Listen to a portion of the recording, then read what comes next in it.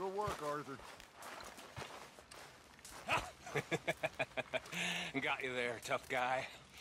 Just name the place, my friend. Just name the place.